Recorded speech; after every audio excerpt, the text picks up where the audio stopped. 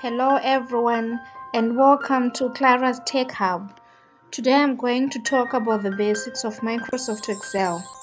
This is a tutorial on Microsoft Excel basics and I'll talk about how you can split text into columns.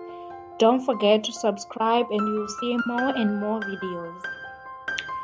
I have a list of names that is name and its surname in one column. So I want to split the name and surname into separate columns. The name in its column and the surname in its column. How am I going to do this? Well, I'll be using the text to columns feature in Excel. The first thing is I will highlight the list of names that I want to split, then go to data, under data tools, select text to columns. Then here it says choose the file type that best describes your data. So you have to choose between delimited, where characters such as tabs and commas separate your data, or choose fixed width, where fields are aligned in columns with spaces between each field.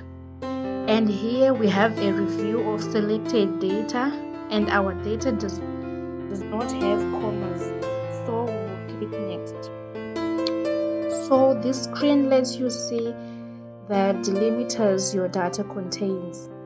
You can see how your text is affected in the preview below. As you can see, my text has not been affected and the only delimiter that we have is a tab. But there are no tabs that separates the names and surnames.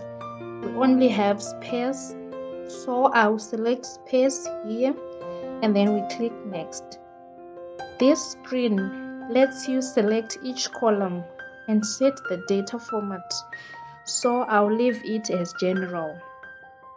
Then we select the destination. This is where our data will be inserted. So I will highlight these two columns, column C and column D, then I'll click finish. Done! Now we have managed to split the names and surnames into two columns. What's remaining now is to split the second list of names into columns, but this list have commas and full stops separating the first name, initial of the second name, and the surname. So I'll select this list.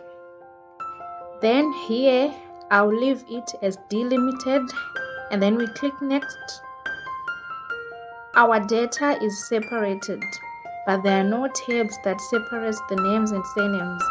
We have space and commas and full stops, so I'll select commas and space and then I'll click next. I'll leave this as general. Then we select the destination. This is where our data will be inserted, so I'll highlight these three columns column C, column D, and column E.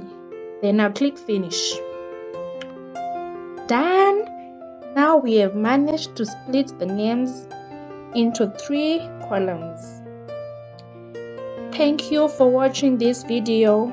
Like this video if you've liked it and click the subscribe button for more and more videos. See you next time. Bye.